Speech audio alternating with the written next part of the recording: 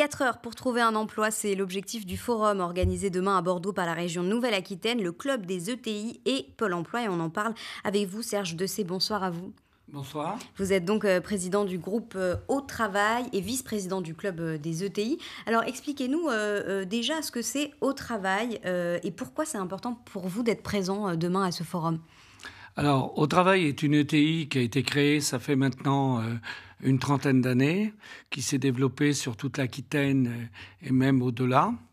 Et nous avons nous-mêmes énormément de problèmes de recrutement et nous sommes toujours, euh, je dirais, euh, à, la recherche euh, pour satisfaire la plupart de, je dirais, des, contrats que nous avons actuellement dans, nos diverses entreprises. Alors la particularité de travail, est-ce qu'on peut en parler un petit peu? C'est que c'est surtout pour mettre en avant des travailleurs handicapés? Oui, au travail est, né sur une idée euh, simple, c'est euh, de faire euh, travailler des professionnels qui ont eu soit un accident, soit une maladie invalidante, soit des, personnes qui, à un moment de, leur vie, ont décroché de, du, du, travail. Oui. Alors pourquoi, vous l'avez dit, hein, pourquoi est-ce que les ETI, déjà est-ce qu'on peut rappeler ce que c'est une ETI, une entreprise de taille intermédiaire, comment on la définit alors, une ETI, c'est une entreprise euh, qui a plus de 250 salariés et qui euh, a fait au moins 50 millions d'euros, l'un ou l'autre. C'est-à-dire, c'est. Voilà, donc euh, en Aquitaine. entre la PME et, voilà, et la grande entreprise. Et la grande entreprise. Et il faut savoir qu'en Aquitaine, et, dans le club des ETI qui a été créé maintenant, ça fait six ans, à l'initiative de la région, du conseil, régional, euh, du conseil régional et d'Alain Rousset et de, de, euh, de chefs d'entreprise. Maintenant, nous sommes 71 entreprises et nous avons aussi 16 euh, PME que nous aidons, que le club aide à se développer et à devenir eux-mêmes des ETI.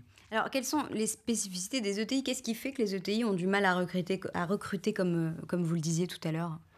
Je, je, crois que toutes les entreprises ont, des problèmes pour recruter, mais les, ETI qui sont euh, en France le principal recruteur et les, les principales, ce sont les entreprises qui créent les emplois actuellement dans notre pays. Hein. Euh, en Aquitaine, on représente 58 000 emplois. Euh, 10 milliards de chiffre d'affaires, donc c'est très important. Et ces ETI continuent de se développer. Et notre développement, souvent, se heurte à la formation entre euh, les formations de, de, de, des, salariés qui sortent, euh, je dirais, des centres de formation ou même d'études. Souvent, ignore aussi euh, les ETI. On est souvent ignoré, c'est-à-dire que euh, vous allez actuellement faire un sondage, on, a beaucoup de mal à savoir euh, ce qu'est ce qu'est une ETI, qu'est-ce que ça d'abord qu'est-ce que ça veut dire? Donc et souvent les formations sont complètement à, à côté de, de, des métiers pour lesquels les ETI embauchent. Alors, c'est souvent dans les métiers de maintenance. On a un gros problème au niveau maintenance, au niveau industriel. Euh, par exemple, nous, au travail, on a mis un an et demi pour trouver deux, deux mécaniciens.